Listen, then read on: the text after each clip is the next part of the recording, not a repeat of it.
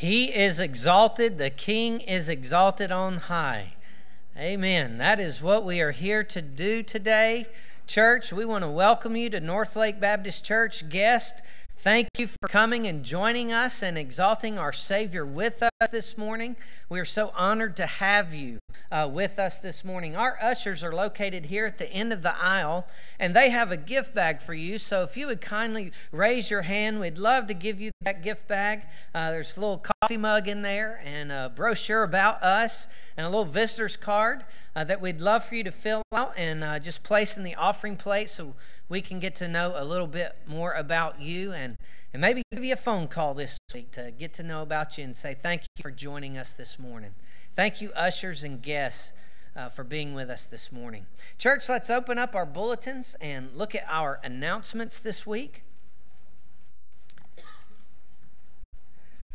Looks like a uh, pretty normal week for us. Uh, this week. Uh, our Trail Life and American Heritage Girls uh, will be meeting this afternoon along with Fire at 5 o'clock. Uh, also, uh, children tomorrow, traveling day camp starts for you. And I know you're excited about that, as am I. And so uh, our kids will be off uh, on day trips uh, Monday through Thursday this week. So be praying for us as we uh, enjoy that time together. Wednesday night, our regular Bible studies will be occurring with Summer Kids Series, Adult and Youth Bible Study. And I think that would wrap up our week. Some other announcements. Uh, look there, Awana is uh, coming up. And so you can see uh, August 25th, a Awana workers meeting, and September 1st is registration, parent meeting, games, and ice cream. So that means we're getting close to school starting, boys and girls. So I hope you are ready. Uh, also, that means our church year uh, is about to come to a close, and so that means a new church year is beginning, and so we're working on our budget. And so, if you are responsible for a line in our budget, if you have any budget requests, please get those to Katie in the church office so our stewardship team uh, can be busy about uh, putting together the church's budget. I also want to remind you about that public affairs ministry training at uh, Truett McConnell University on August 23rd. Uh, be sure to uh, check that out uh, if you are interested in knowing how you can engage our government in the policy making and serve our governmental leaders. All right, so that concludes our announcements. Church, um, I love Second Corinthians chapter 5 because I was a royal ambassador. And part of being an RA was knowing that you are an ambassador for Christ. And Paul reminds us there in verse 20 Therefore, we are ambassadors for Christ, since God is making his appeal through us. We plead on Christ's behalf be reconciled to God.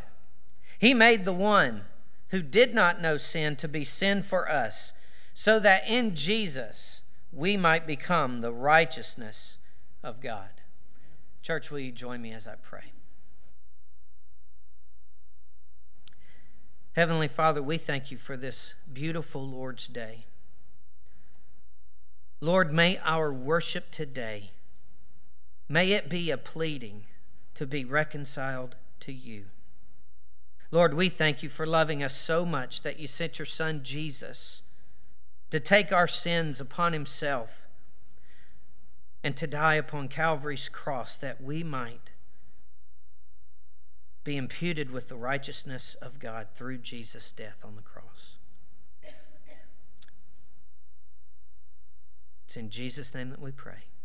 Amen. Well, good morning. It is good to have you with us. I add my words of welcome to you this morning. Glad that you have uh, joined us, whether you're online or with us this morning in the building. I want to remind folks this morning that we serve a mighty, mighty God. And I don't know how many of you realize that, but I hope each and every one of you have encountered and had an experience this morning with our mighty, mighty God as you were preparing or you got here in Sunday school and you worshiped uh, our Lord.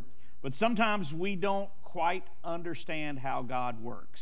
And I'm not questioning uh, God at all, but I am questioning sometimes Lord, I don't understand why I went through this particular circumstance. Why am I going through this today? What is this trial? What are you what are you trying to show me? And through uh, through my experiences, the one question I always ask the Lord is not necessarily why, but Lord, what are you trying to teach me through the experiences that I'm going through? So it may not be that we understand exactly, but if we trust in the Lord and understand who He is, we can better trust regardless of the circumstance that comes our way. So this morning, let's stand together, and I want us to sing about those uh, opportunities that the Lord gives us to understand and know Him more. So let's sing and worship Him this morning. Trials dark on every hand, and we cannot understand all the ways that God would lead us to that blessed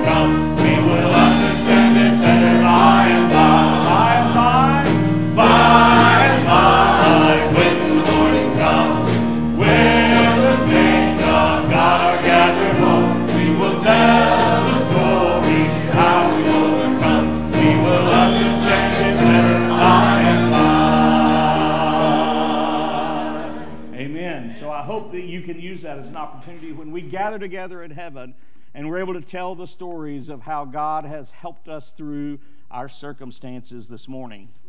Many of us, as we go through those, again, like I said, we question, Lord, what are we trying to learn through that? But I want to share with you from 1 Corinthians chapter 3, 11, that regardless of what happens, God should be our sure foundation. It says this For no one can lay any foundation other than the one that was already laid, which is in Christ Jesus.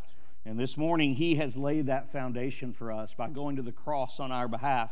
And because of that, He is our sure foundation. You know, there's, there's a parable that Christ tells about the wise man who built his house upon the rock. And it doesn't matter what happens, the rain can come down, the streams can rise and flood, the winds can blow against that house that was built, but it did not fall because its foundation was on the rock. But then you have someone who built the foolish man, as scripture says, who built his house upon the sand.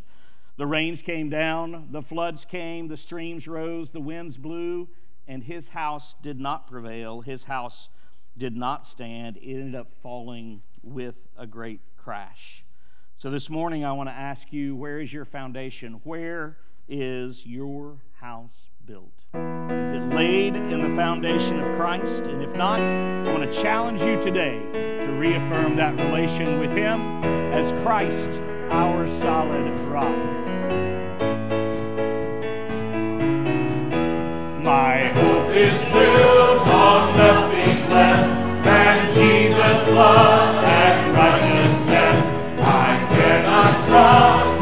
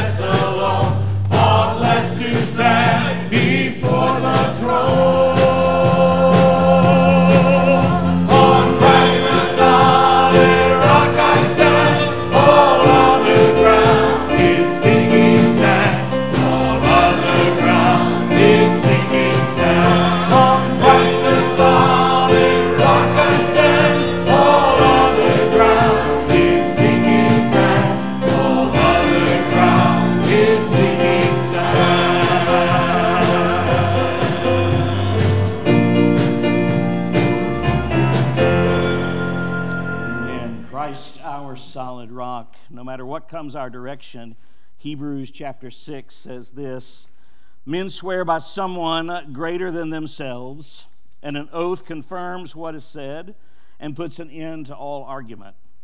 Because God wanted to make the unchanging nature of his purpose very clear to the heirs of what was promised, he confirmed it with an oath. God did this so that two unchangeable things, in which is it impossible for God to lie, we who have fled take hold of the hope that is offered to us, so that we may be greatly encouraged. For we have this hope as an anchor for the soul, which is firm and secure. As we've just sung about that anchor, that solid rock. Sometimes God wants us to hold firm and fast, but He also wants us to be still at the same time, which is difficult for some of us. Some of us like to move ahead and forge ahead when God wants us to be still in a moment and focus on Him and listen to Him and what He's trying to tell us.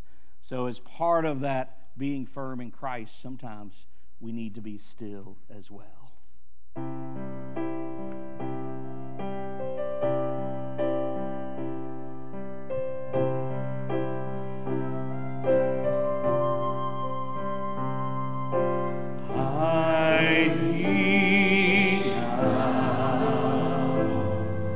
Find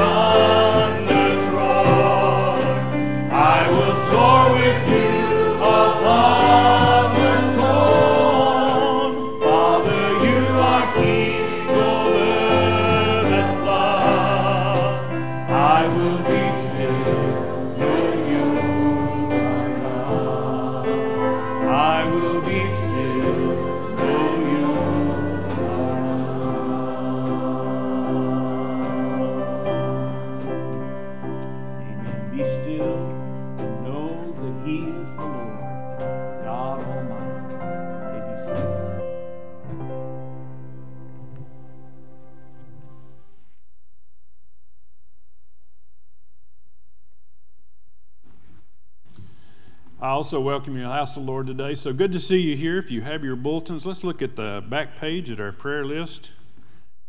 Our prayer verse today comes from Psalm 50, verse 15. Call upon me in the day of trouble, and I will deliver you, and you shall glorify me. Let's not forget that last part. When the Lord does answer our prayers, then let's praise Him for it and glorify Him.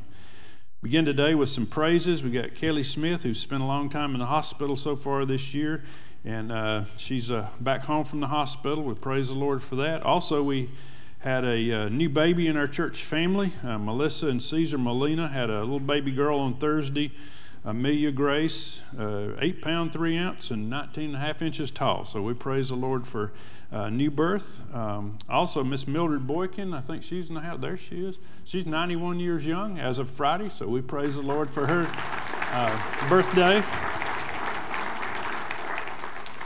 Want to pray for those in our circle of influence who the Lord may be using us in order to lead them to faith in Christ. So uh, pray that prayer and then ask the Lord to show you how to lead them to faith. We want to pray for those you see listed in our church family and our parents who are expecting uh, children, uh, extended family and friends, uh, folks who've asked us to remember uh, their relatives uh, on our prayer list. Long term care, you see the last line, we have Alan Werner there who had carotid surgery this past Thursday. Also, want to remember our missionaries serving around the world. Today, the uh, International Mission Board has notified us of an unreached people group in southern India, uh, some 400,000 folks called Maranaires. Uh, never heard of the gospel of Jesus Christ. Isn't that amazing? In our world, with all the electronics and things we got going, there's still people in the world who've never heard of Jesus. So pray for our missionaries as they come up with strategies in order to reach these uh, unreached people groups. We want to pray for our nation that the Lord might revive us again. We also want to remember our families who are struggling with grief, the family and friends of Sharon Smith, that's Patricia Bookmiller's sister in law and Andrew's aunt. And so let's go to the Lord in prayer. Father, we thank you for this day that you have blessed us with, a beautiful day outside, for your people uh, to come to this place and worship you, the true and living God. We also thank you, Lord, for those who are able to watch online, and we pray, Lord, that you continue to bless them as they offer their prayers before you even now as well. Lord, we have a long prayer list, but we know you're fully capable of answering all these prayers according to your will and purpose. And so, Lord, that's why we offer them before you. We pray today if there's someone here that does not yet know Christ as their Savior, that today is the day that they would be saved. And Lord, we do thank you that you are our rock and you help us through all the trials, troubles, temptations that we face in life. And Lord, we thank you that we have the assurance of that from your word, which we'll be studying shortly. Lord, bless us today as we continue to serve you. In Jesus' name, amen.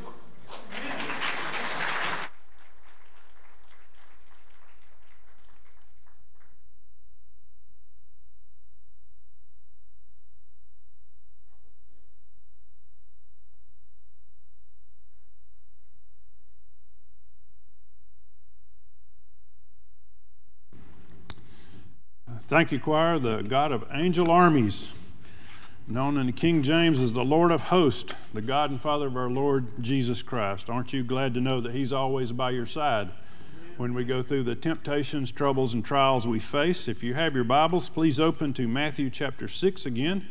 I read this same passage about six weeks in a row now. Hope you don't find it monotonous because you actually ought to be reading this passage every day not to just quote it, but to use as a meditation when you have your prayer time, when you have your quiet time. Just go through, take each phrase, break it down, and then uh, apply that to the life situations that you're facing and allow the Holy Spirit to speak to you through this. Matthew chapter 6, beginning in verse 9, as the Lord taught us to pray. In this manner, therefore, pray Our Father in heaven, hallowed be your name. Your kingdom come, your will be done on earth as it is in heaven. Give us this day our daily bread, and forgive us our debts as we forgive our debtors. Do not lead us into temptation, but deliver us from the evil one. For yours is the kingdom, and the power, and the glory forever. And all the people said, Amen. Amen. And we continue on the Gospel of Matthew. We continue on our Lord's Sermon on the Mount, and then we've been studying. Um, very closely the Lord's model prayer that He gave for us. Last week we talked about forgive us our sins, forgive us our debts, forgive us our trespasses. This week we're going to look at lead us not into temptation, but deliver us from the evil one. And these two verses are related because, in honest confession of our past sin, uh, we should be realizing our weaknesses and ask the Lord to help us uh, to overcome future sins uh, by praying that last part there lead us not into temptation. You know, it's kind of like uh, football coaches after a game, particularly a game that they lost. They review those game films and they slow them down, put them in slow motion, and they ask the question, Where did we go wrong? And the same should be true with us. We should review our failures. We should go through our temptations, our faults, our failures, and our sins and as we review our past failures, uh, we'll find that temptation is where the sin cycle begins. And you may say, well, Danny, if uh, temptation is where sin begins, why not just nip it in the bud? You know, as Barney Fife used to say, that was his answer to everything. If that's where the trouble is, why not just nip it? And why not just say no to temptation? Well, the problem is, Revelation, I mean, Romans chapter 7 tells us it's a little bit more complicated than that. It's a little bit more complicated than just say no. Uh, we're told in Romans chapter 7 that we have this thing called a sin nature. In the New Testament, depending on your translation, it may call it a carnal nature, it may call it the flesh.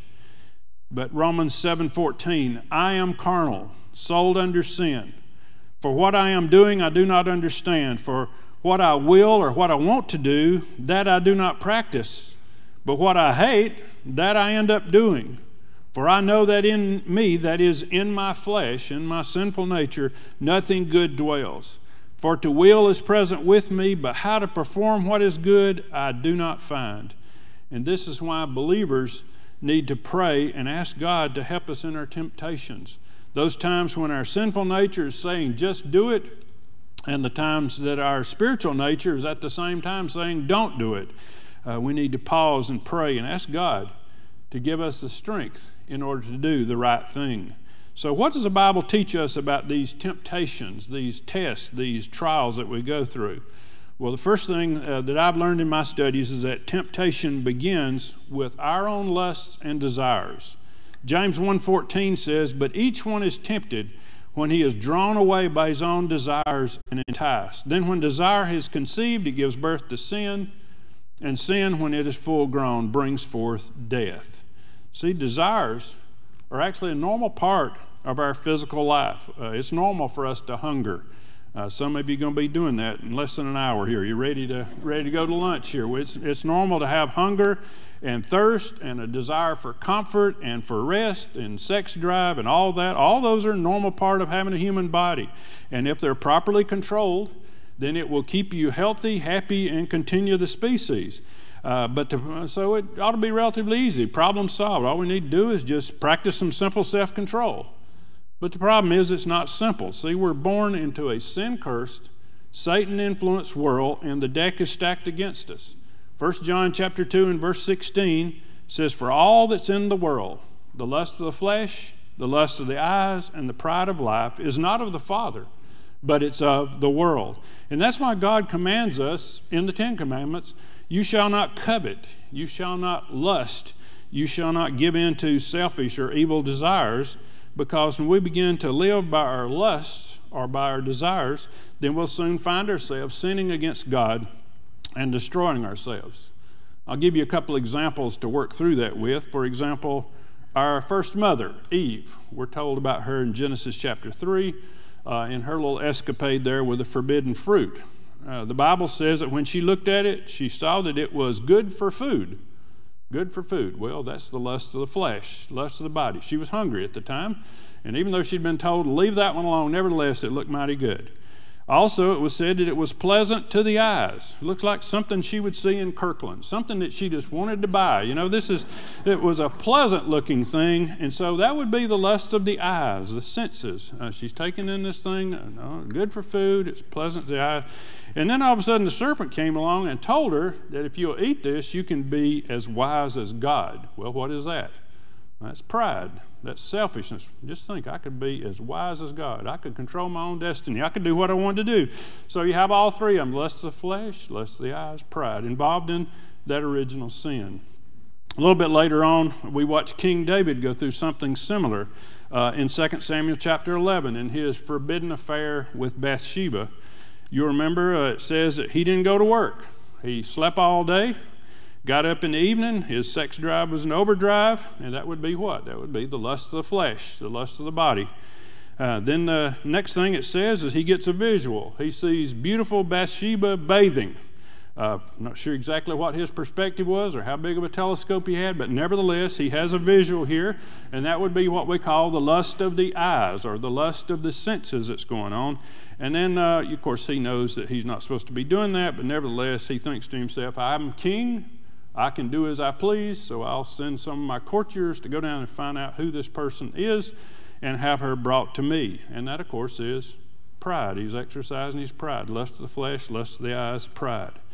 Now, what I want you to do, nobody talking out loud, but I want you to think about your last sin and which one of these desires tripped you up. Which one of these lusts, whether it was gambling or gossip, addiction or adultery, cheating or cursing, what was it that tripped you? Was it the lust of the flesh? Lust of the eyes, the pride of life, some combination thereof. You know, that's that's the way the temptation thing goes down. So again, first point, temptation begins with our own lusts, our own desires. Second thing you need to know about temptation is temptation does not have to result in sin. Some people think it's automatic. Okay, I'm tempted, therefore I end up sinning. And that's the way that uh, we, we tend to look at it. So often our attitude is that sin is inevitable. You hear people say, Well, I'm only human. Nobody's perfect. God made me this way. God made the world, He made chocolate, He made me. It's fate. I'm supposed to be a chocoholic. You know, it just kind of one follows the other. We have no input in the outcome, we just go with it. Uh, insert your favorite sin into that lineup there. And is it sex or alcohol or materialism or gluttony or greed or jealousy or laziness, anger, whatever it is? Uh, we tend to think that uh, my favorite sin is just inevitable. It happens because I'm the way I am. But James 1:13 says, "Let no one say when he is tempted, I am tempted by God. For God cannot be tempted by evil, nor does he himself tempt anyone." But we got to blame somebody, don't we? We got to blame somebody besides ourselves for our temptation and subsequent falling into sin. Uh, I remember watching a one of those outdoor channel uh, videos, and uh, I saw this. Uh, the game wardens had set up. I've seen these mechanical deers, these electronic deer that they have out there, and of course it's out of season, but uh, it's just a huge deer. And so this guy's driving along, you know, and they're watching him, they're filming him as he comes along, and he stops and he sticks his weapon out the side, and he ends up shooting the deer. And uh, of course, they were trying to get a confession out of him. He said, No, I was entrapped. It's the game warden's fault for putting such a big rack on that deer. You know, uh, so uh, again, it's never our fault. It's always somebody else's fault whenever we give in to temptation. Uh, some of you remember the oh, uh, comedian Flip Wilson. If you remember one of his punchlines, it was always that the devil made me do it. Uh, but the Bible tells us the devil is a tempter, He is a liar. He is accuser of the brethren. He is the prince of the power of the air. But even, even the Bible tells you he don't make you do it. All he does is tempt you. He tempts you to do it. And of course, he laughs at you after he gets you. But nevertheless, he doesn't force anybody to sin. John 1:14, but each one is tempted when he is drawn away of his own desires and enticed. Then when desire is conceived, it gives birth, it gives birth to sin. Now, again, nobody makes us do it. We sin whenever we cave in to temptation. I remember uh, when I uh, worked for a Gold Kist Distribution Center back in the 80s, I used to go back and have my morning coffee on the back dock with our trucking manager, and he was a he was really something. But I always enjoyed being around him.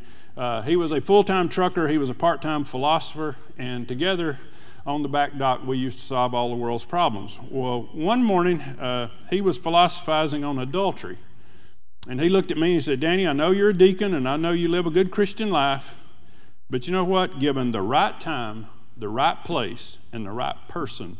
you too will fall in sin. And of course, the point he's trying to make is that sometimes adultery just happens. There ain't anything you can do about it. And so I let him finish making his points, and then I told him, I said, Well, it seemed like to me it takes a considerable amount of planning in order to get that right time, right place, and right person together. Now, I said, I've known a number of people that got entrapped in adultery, but none of them was because they were on a shipwreck and, you know, two and a perfect other person washed up on the beach of an island somewhere. I said, normally, normally it's some phone calls, emails. That was back before text messaging. But anyhow, you know, you have, you have to kind of set this thing up. And all other sins are the same way. In Romans chapter 13, verse 13, it says, Let us walk properly as in the day not in revelry or drunkenness, not in lewdness or lust, not in strife or in envy, but put on the Lord Jesus Christ and make no provision. That is, make no plan uh, for the flesh or for your sinful nature. In other words, these things do not happen randomly. Uh, we do have a will, we do have choices, and we do have decisions that we can make. Now, another example, uh, why don't you turn forward to Luke chapter 22. Luke chapter 22, and we'll see Peter's temptation in progress here. And we'll see how this thing works out as far as, uh, you know, it really ought to simplify it. Most, all, all sin occurs because of three things lust of flesh, lust of the eyes, and pride. You can just remember those three points, you ought to pretty well live a sinless life, right? Problem is, we don't remember it when we're in the middle of it, but nevertheless, here's poor Peter. Uh, Luke 22, verse 31. The Lord said, Simon, Simon, indeed Satan has asked for you that he may sift you as wheat, but I have prayed for you that your faith should not fail. So here you got Jesus praying for Peter. He understands that a, a time of testing and temptation is on the way for Peter, and uh, he wants to pray for Peter to be faithful and to keep him from falling.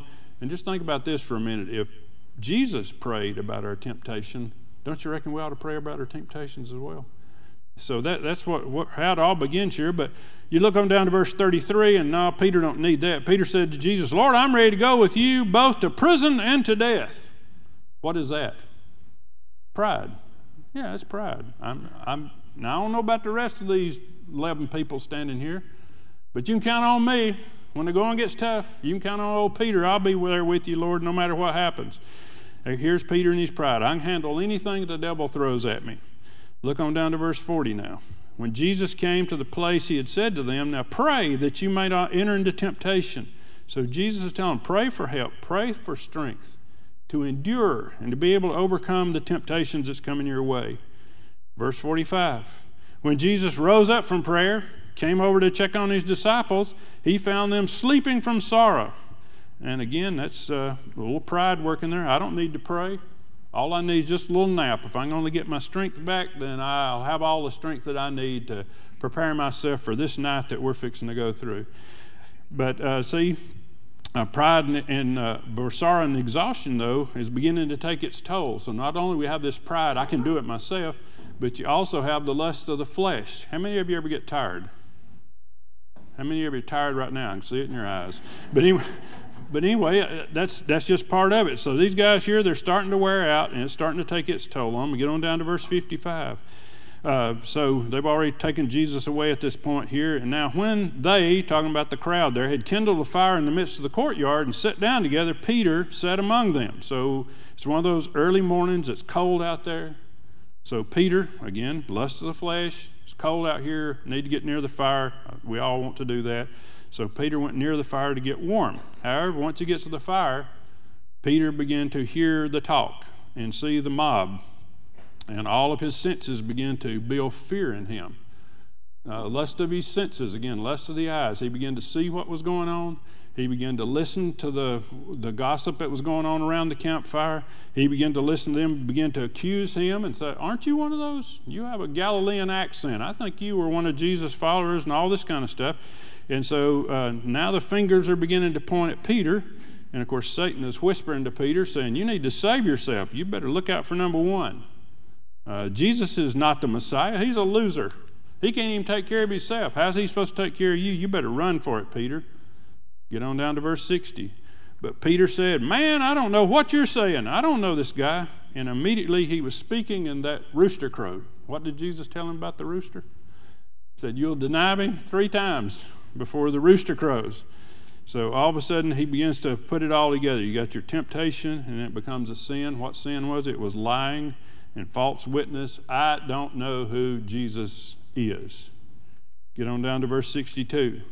So Peter went out and wept bitterly. The devil's already got him.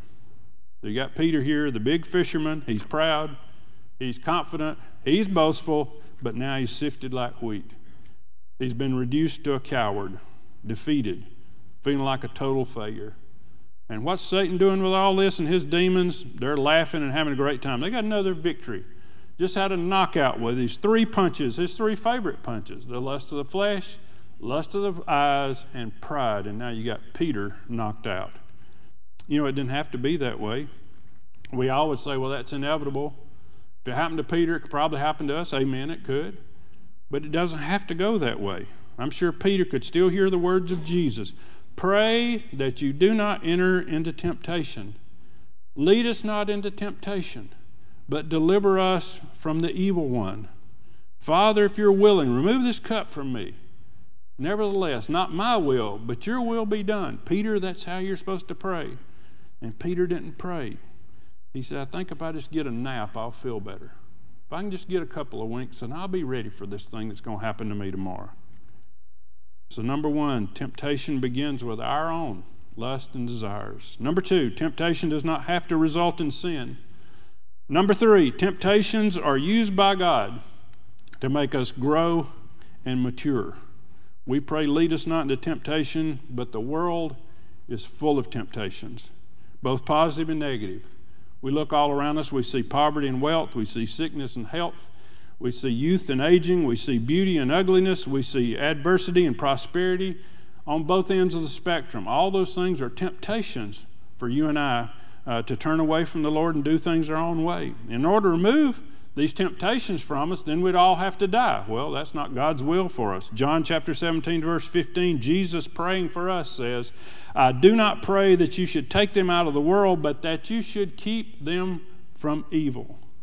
Keep them from the evil one. We're to be in the world, but not of the world. So, again, yes, we got all these temptations going around, but the Lord has made it possible for us to be able to have victory over these things if we'll only trust in Him. And though we pray to avoid temptation, God allows us to pass through some of these temptations, some tempting situations, in order to teach us, to test us, to prove us, and to strengthen us. Listen to what the Apostle Peter, after he's converted, after he knows what it means to fail miserably, he writes in 1 Peter chapter 1 verse 7, "The trial of your faith, being much more precious than gold that perishes, though it is tried by fire, may be found to the praise, honor, and glory at the revelation of Jesus Christ." So, what he's saying is the Lord allows us to stay on this earth, and as long as we're on this earth, there will be temptations, but you don't have to give in to them. You don't have to be torn down by them because he will offer you victory if you'll only put your trust in Him. Now, generally speaking, we all agree in trial by fire. I think most of us know that uh, we require some hardship today in order to have victory tomorrow. That happens in virtually all areas of our life. We understand it. We may not like it, but we understand it. Uh, for example, we take our children to the doctor to get their shots and tests in order to try to build up their immune system against dreaded diseases. We send our children to school for teaching and testing and learning. Uh, we know that practice makes perfect for musicians. Uh, if you're ever going to learn to play an instrument like these folks over here that plays instruments for us, you have to practice, practice, practice. How many of you know that's the only way to Carnegie Hall? So, so we know you got to go through all this in order to get good at what you do. In sports, we know that hard fought games build champions. Uh, when I was in the military, I was told that sweat and training saves blood on the battlefield. In other words, they're going to put you through some really hard times to prepare you for the sad day that you might have to go to war. So all this we understand that, but for some reason we understand that in human realm, but we think evil of God when He puts us through uh, trials and tests designed to strengthen our faith. And you say, Well, I don't feel like I got strengthened last time. It's probably because we failed it. If you ever win some of these temptations, if you ever win some of these tests, then it will build your faith. God the Father even put Jesus Christ, his beloved Son, through temptations when he was here on earth. Matthew chapter 4, verse 1, that we looked at a few weeks ago, Jesus was taken, it says, by the Spirit into the wilderness to be tempted of the devil. So again, God the Father allowing God the Son to go through the wilderness temptations. And the question is, is was his temptations any different than ours? Maybe he took it easy on his son and made it harder for us. No, he actually put him through the same things we go through. The devil used his same, uh, same three favorite tools in order to test our Lord. First of all, there was a lust for flesh, lust of the flesh. 40 days and nights without food. How many of y'all have ever fasted for 40 days, 40 nights? 40 hours? Four minutes? Only time we ever do that is when the doctor says, uh, I want a blood test with you, but with fasting.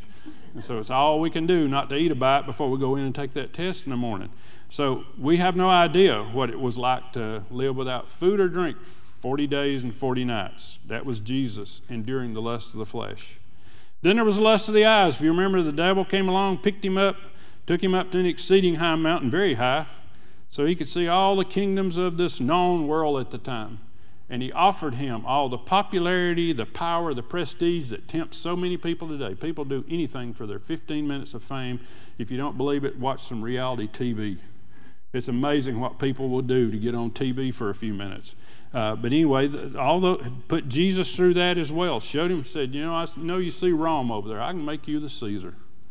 You can be king over everything in the known world at this time if you'll just bow down and worship me.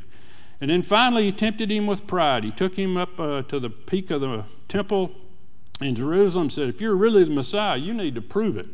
Right now, you're just walking around like some kind of carpenter. What kind of deal is that? You need to go up on top of this temple here, jump off, and when you land on your feet, and you're in one piece, uh, then uh, everybody will know you're really something. You need to do something sensational, Jesus. You need to do something so you can be popular, so you can be famous, so that you can be chased around by the paparazzi. I dare you. I double dog dare you to do that. And uh, what is he doing there? He's appealing to his pride. If you are who you claim to be, you need to prove it.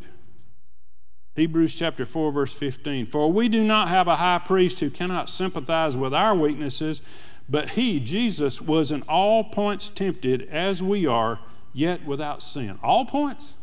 Jesus was tempted in all points, just like we are? Yes. Lust of the flesh, lust of the eyes, pride. You ain't got but three points you're tempted in. You say, well, mine's slightly different. Well, it may be slightly different, but still fall in the same category. So he was tested in all three points, just as we are. Was his temptations easier than ours? No, they were actually harder because Satan is kind of like the interrogator in a POW camp. Y'all ever seen those in the movies where we have ways of making you talk? You know, they take you in and they start off with just a little bit of, of in, interrogation technique or torture. And then, uh, you know, sometimes you don't last very long. Oh, I can't say anymore. And you start telling everything you know. But uh, if you sit there and say, No, I'm not going to tell you anything, then what happens? They increase the torture.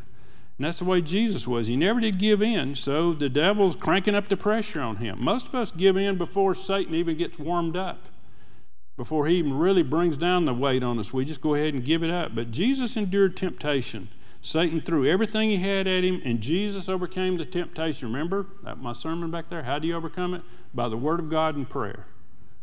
He was in tune with his heavenly Father, and if you remember, every time he told Satan to get thou behind me, he had a verse of scripture that went with it. He was prepared with the sword of the Spirit, which is the Word of God. And we can do that too. Each time we overcome our temptation, we go stronger and stronger in the Lord.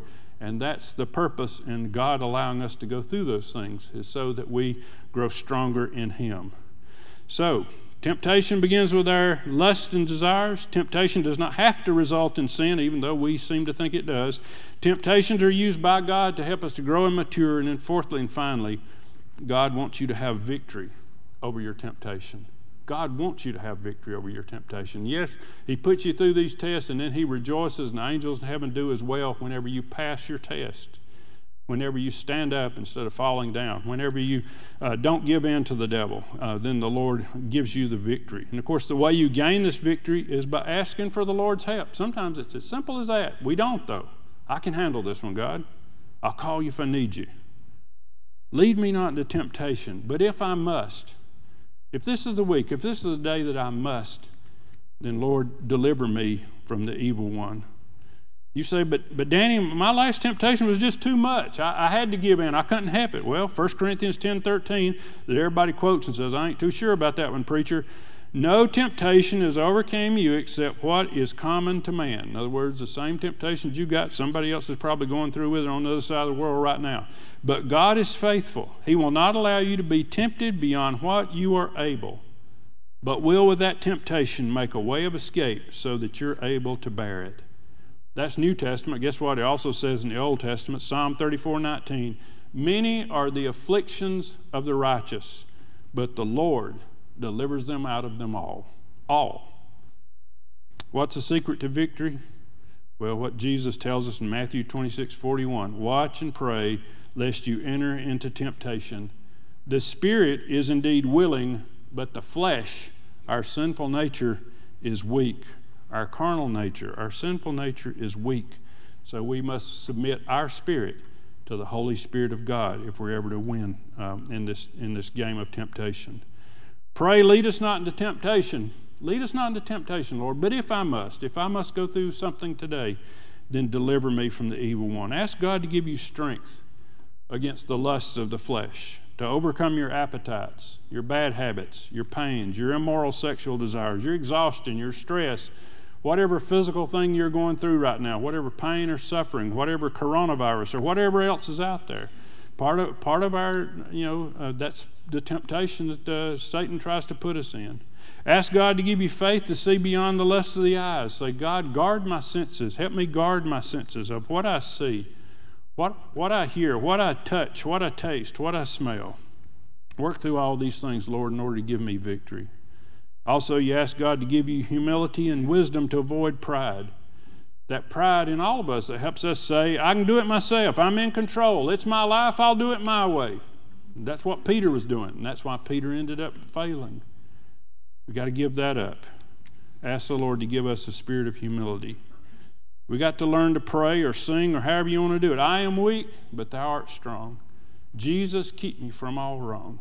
I'll be satisfied as long as I walk. Let me walk close to thee. James 1:12 Blessed is the man who endures temptation for when he has been approved in other words you stood up to your temptation you didn't give in to it the Lord gives you victory. He will receive the crown of life which the Lord has promised to those who love him. You see that? God wants to award you. God wants to reward you. And well you know it's almost invitation time. It's almost the end of the service time. And by the way how many of you know that invitation time is also an hour of temptation how many of you know the devil starts to work the crowd as Brother Danny moves toward the invitation time? Begins to give you all kind of thoughts going on there. But you know, at invitation time, there's always decisions that need to be made. There's always choices. There are always changes that need to be made. Some people need to repent of your sins and ask Jesus Christ to come in your heart and life and save you. Some of you may need to follow Jesus in believer's baptism. You prayed to ask Christ to be your Savior, but you've never been baptized. You've never joined a church. You need to do that. Some of you need to surrender to His call to some kind of ministry. You know He's got it on your heart. You know He wants you to do it in these last days, and you need to get busy doing that. Also, some people need to ask God to help them break some bad habits, to turn away from some besetting sins. That happens every week when we have these times of invitation. But as you begin to consider these decisions, the evil one, the tempter, again, he can't make you do it, but he sure can tempt you to do it. He begins to whisper to you, and you know what he's using? His three favorite punches. He starts off with the lust of the flesh. Danny's preached once again too long. You're tired. You're hungry. Why don't we put off thinking about this? You can always do it next week. That's the way he always does it. I'm not saying you don't need to make some change. I'm not saying you don't need to change a lot. I'm just saying you need to think about this. This is a very serious decision. Look at you. You're already tired. You're already hungry. You need to get out of here. Um, and then sometimes he'll work on the lust of the eyes. He'll tell you, look at all the people here. What will they think if you all of a sudden walked down with tears in your eyes, got down on your knees in front of the church here at the altar? What will they think you've been up to? This is going to be an embarrassing situation for you to be in if you actually respond to this invitation. Everybody will be whispering, I wonder what he did now. You know, something like and all this is going on back there in your brain while you're trying to decide that you need to make some decision for Christ. And then finally, if none of the rest of it works, he'll put the pride to you, and that is look around you. You're as good as anybody in here, better than most of them. You don't have to walk that aisle. You don't have to make a decision. You don't have to go over and make a fool out of yourself. Just wait a few more minutes. Song ain't gonna run that long. Danny will look up at Derek, and Derek will quit playing. You know the deal. and then guess what? You're gonna find yourself out there in the car, and the devil's gonna be laughing at you because he got you again. Lust of the flesh, lust of the eyes, and pride. He wraps it up just like that. Said, wait a minute, you mean I actually sinned in church? Yes, you can sin in church. You can be tempted and you can sin in church. You don't have to be on, you know, French Quarter of New Orleans in order to sin. He can do those things anywhere, any location. He can get you out of the will of God. It doesn't have to be this way. Starts off with the prayer that we begin with Lord, lead me not into temptation. But if I must, if I must be tested this day, then deliver me. Give me victory over the evil one because I'm praying in humility. I'm submitting myself to your kingdom, to your power, to your glory forever. Let's pray. Father, we pray that you would not lead us into temptation during this hour. But if we must, I pray, Lord, that you would deliver us from the evil one. For yours is the kingdom, yours is the power, yours is the glory forever and ever. Lord, give us a spirit of humility, not the spirit of pride. And Lord, guide us through all the troubles and trials we face in life. We pray this in Jesus' name. Amen. Now's our time of invitation. Again, pay no attention to the flesh, pay no attention uh, to the uh, uh, spirit of the flesh that's talking to you right now, to starting to get these conversations going. Just listen to the voice of the Holy Spirit, and He's telling you to respond in faith to Jesus Christ. If you've never trusted Christ as your Savior, I'll be standing down front. I'd love to talk with you and pray with you about that. Maybe you've already prayed, but you never made that public profession of faith by being baptized and by joining the church. Come on down. I'd love to talk with you about that as well. Maybe the Lord's got a calling on your life you've never said yes to. Again, He's not going to show you the way until you say, Yes, Lord. So you need to do that today. Maybe again there's some habit or besetting sin that's going on in your life. It may have nothing to do with any of that. You may be praying for somebody else that you know in your circle of influence. Listen to the voice of the Holy Spirit as He guides us during this holy time of invitation. As we stand together and sing our hymn of invitation, won't you come? My faith has found a resting place, not in device or creed. I trust the ever living one, his wounds for me shall plead. I need no other argument, I need no other plea. It is enough that Jesus died and that he died for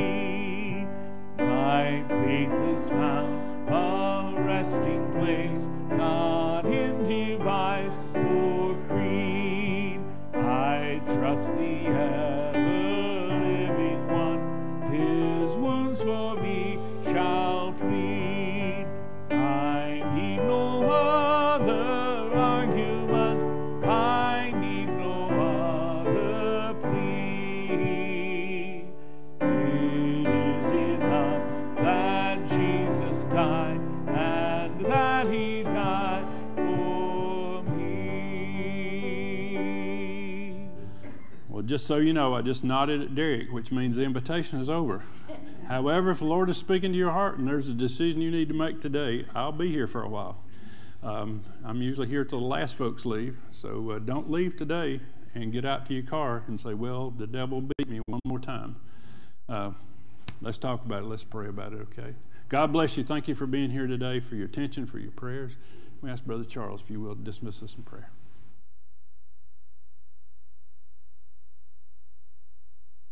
Gracious Heavenly Father, we thank you for bringing us to your house again to worship and honor your name. We thank you, Father, that you've given us in your word the roadmap for our lives and how to live them successfully for your honor and glory. And I pray that we will take that map, that we will chart out the course that you have for us, Father, that you will lead us, Father, not into temptation, but deliver us from evil, Father. We thank you that we can stand firm on your word and I pray that we'll do that this week, that we'll stand against the wiles of the devil, Father, and that we will see victory in our lives. We pray in Christ's name. Amen.